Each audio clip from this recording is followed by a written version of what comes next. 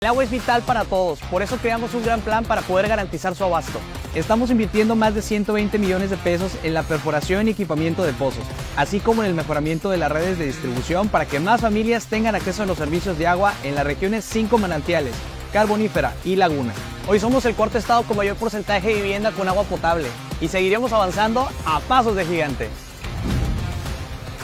Gobierno del Estado.